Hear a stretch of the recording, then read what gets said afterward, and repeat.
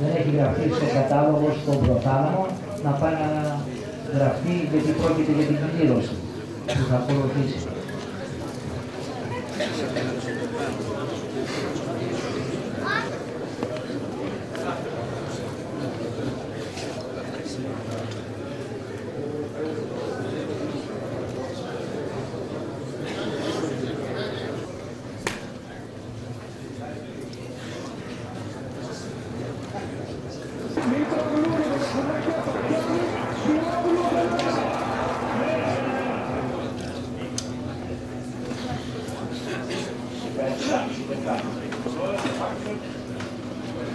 Γρηγορίου, Ηλίας Άρης Πουλούρης, Δυτικής Αττικής Μιχάλης Τζανόπουλος, Καρδίτσας Μανώλης Πανάσκας, Εύβοιας Γιάννης Παπακοσταντίνου, Άρτας Αθανάσιος Τροπούκης, καθώς και ο εκπρόσωπος της ΕΠΣ Αθηνών, μέλος του ΔΣ, κύριος Διαμαντής. Στους ποδοσφαιρικών του νομού μας, ο, Πανα... ο κύριος Παναγιώτης Παπαδρίτος, για τον χαιρετισμό της εκδήλωσης.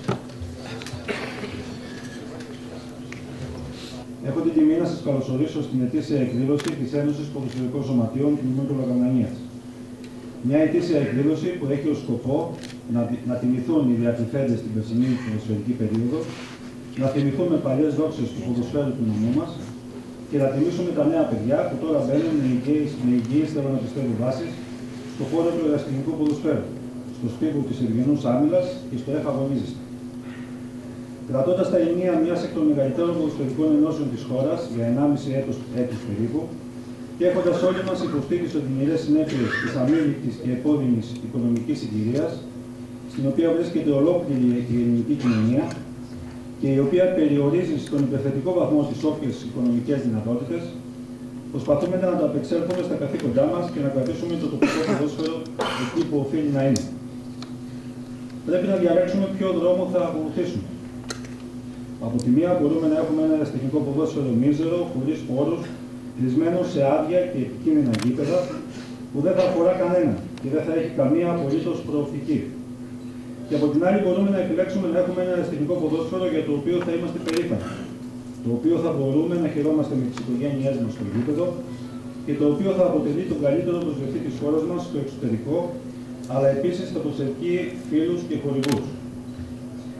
Μέχρι σήμερα κάνουμε ό,τι μπορούμε να συγκρατήσει το δεύτερο σενάριο, ώστε οι κόποι του ποδοσφαιριστή, των παραγόντων των σωματείων, αλλά και της τοπικής κοινωνίας που υποστηρίζει το τοπικό ποδόσφαιρο να δικαιώνονται με τον καλύτερο δυνατό τρόπο. Σε αυτό το πλαίσιο και με αυτό το σκεπτικό, έχουμε καταθέσει και υλοποιούμε μια σειρά αλλαγών στη λειτουργία του τοπικού ποδοσφαίρου. Απόλυτη προτεραιότητά μας αποτελεί η ασφάλεια των παιχτών και των πειράδων. Για τον λόγο αυτό είναι απαραίτητο να επιταχυνθούν τα ευρισκόμενα σε εξέλιξη έργα συντήρηση των αθλητικών εγκαταστάσεων μέσα από τα τεχνικά προγράμματα των Δήμων του νομού μας, έτσι ώστε τα επόμενα χρόνια ο μεγαλύτερος σε έκταση νομό της χώρας να μην βρίσκεται στην τελευταία θέση όσον αφορά τις αθλητικές εγκαταστάσεις.